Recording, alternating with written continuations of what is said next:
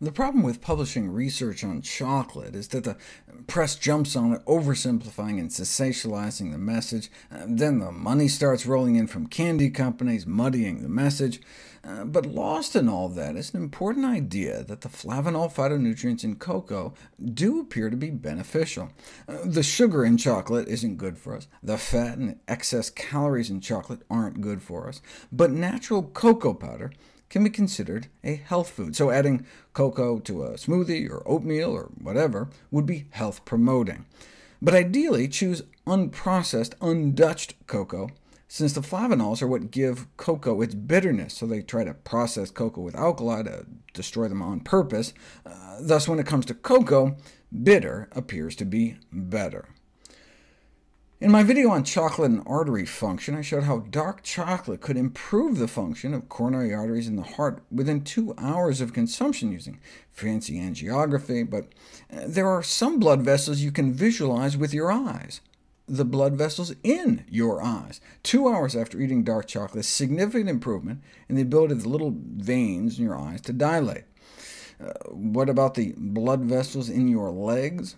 Peripheral artery disease, atherosclerosis, in the arteries feeding your limbs, leading to claudication, a crampy pain in your calf muscles when you try to exercise due to impaired blood flow. So maximal walking distance and maximal walking time were studied in 20 peripheral artery disease patients two hours after eating dark chocolate with a respectable 85 plus percent cocoa, or after eating wimpy milk chocolate.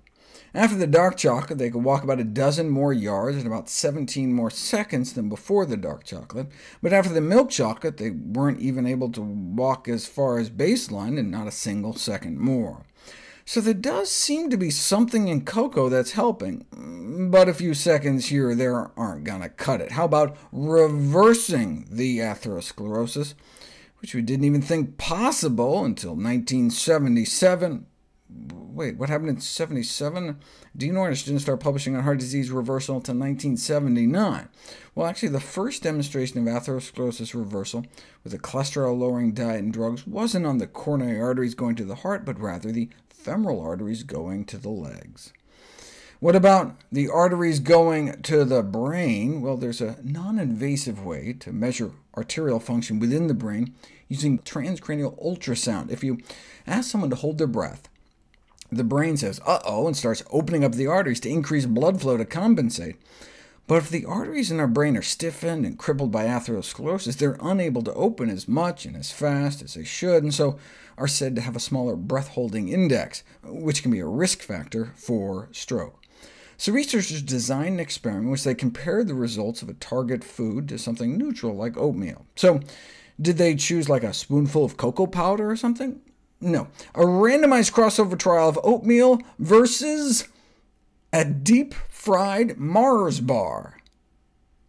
Wait, why a deep-fried Mars bar? Well, this was published in the Scottish Medical Journal, and evidently deep-fried Mars bars, is a snack strongly associated with Scotland. Wait, is just is this just an urban legend or something? No, 627 fish and chip shops in Scotland were called to ascertain the delicacy's availability, and more than one in five said, yeah, selling up to 200 a week. Just follow the signs. Comes out a little something like this. Batter dipped and deep-fried Snickers bars and pizza were evidently less popular. The researchers conclude that it's not just an urban legend. Encouragingly, they did find some evidence of the penetrance of the Mediterranean diet, albeit in the form of deep-fried pizza. Uh, could this be contributing to Scotland having among the highest stroke rate in Europe? Well, they put it to the test, and interestingly, there was a significant drop in men compared to women. Maybe men are from Mars, women are from Snickers?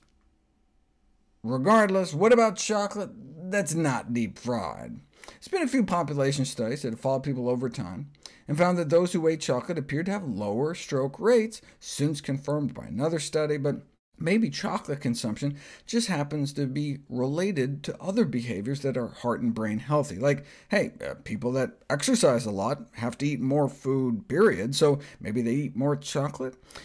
They didn't see any evidence of that, but you can't account for everything. I mean, to prove cause and effect, you'd have to like randomize people into two groups, make half eat chocolate, the other half not, and follow them out for a decade or two, to which one researcher replied, fat chance you try to get people into a study where they could be randomized to 16 years without chocolate.